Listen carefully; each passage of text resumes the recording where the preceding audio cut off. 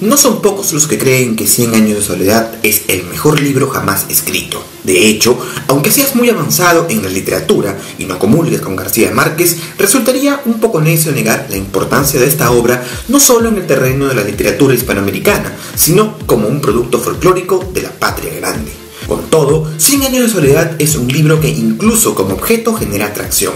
No hace falta repetir mucho este concepto si entendemos que cada cierto tiempo se hace un ejemplar conmemorativo y este siempre es un éxito de ventas o incluso en las subastas de libros donde la gente puja y paga miles de dólares por el placer de tener una primera edición, aun cuando esta no estaba del todo corregida y había salido con la portada que el mismo García Márquez no quería que sea publicada.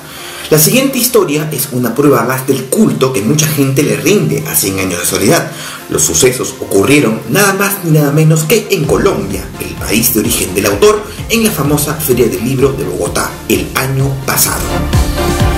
Para la ocasión, un librero y expositor llamado Álvaro Castillo decidió prestar lo que sería el ejemplar más preciado de su colección, una primera edición autografiada y dedicada de 100 años de soledad, un libro que había perseguido por años hasta que al fin lo pudo comprar un día del 2006 en Montevideo, Uruguay.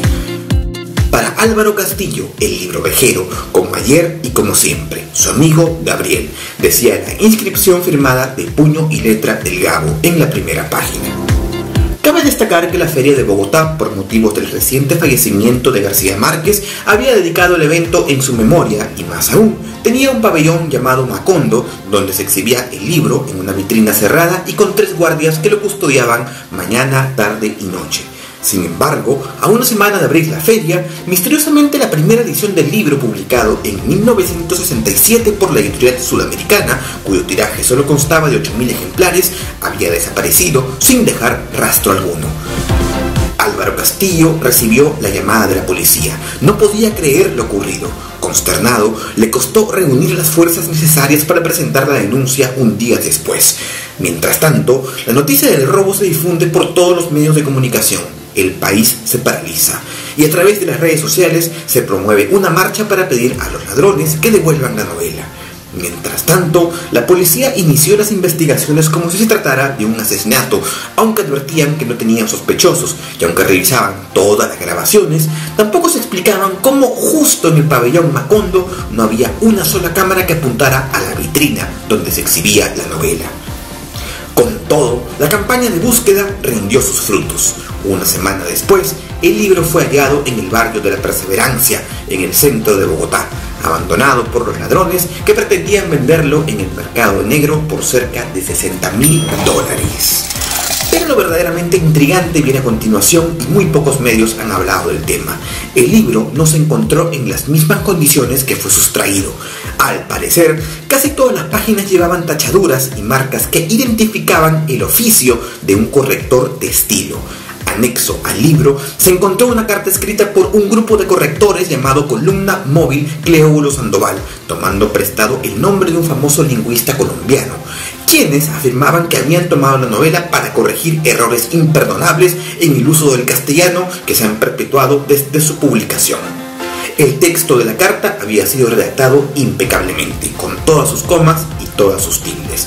El mensaje, además, condenaba el uso de palabras como que se había popularizado en buena medida por la acogida de la obra de García Márquez, sembrando así una de las semillas de la decadencia moral de esta sociedad, rezaba la carta. Al enterarse de esto, Álvaro Castillo, resignado, dijo de la misteriosa agrupación, espero que esta gente se haga famosa rápido, para que el libro vuelva a tener algún valor, porque así como me lo han devuelto, apenas sirve para arrancar las hojas y ponérselas debajo a la jaula de mi hámster, declaró.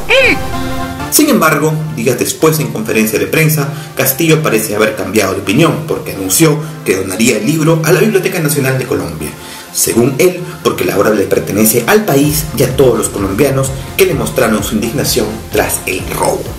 Si este video te gustó y quieres ver otros parecidos a este, te invito a suscribirte a mi canal o a seguirme por las redes sociales. También puedes comentarme abajo en la caja de comentarios. Ustedes saben que yo siempre les respondo absolutamente a todos. Se despide de ustedes su amigo José Aguirre y espero verlos en una muy próxima oportunidad. Per aspera ad astra.